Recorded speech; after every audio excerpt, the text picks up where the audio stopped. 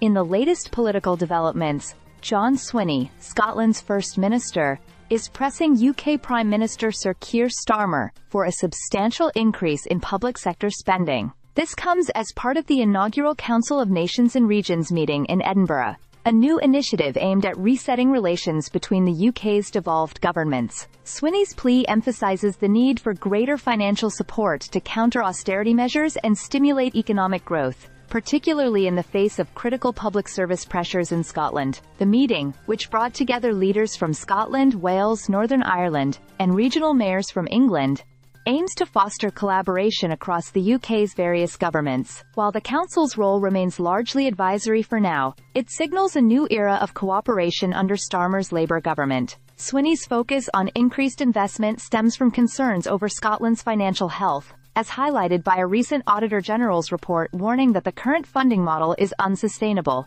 The report points to a projected shortfall of over £1 billion in Scotland's budget, casting doubt on the government's ability to maintain services in their current form without substantial reforms. Despite these financial challenges, Swinney remains committed to pushing for solutions. His discussion with Starmer centered on addressing key issues, such as funding for renewable energy projects, like the proposed carbon capture facility in Aberdeenshire. This project has so far been overlooked by the UK government, adding to long-standing tensions between Holyrood and Westminster.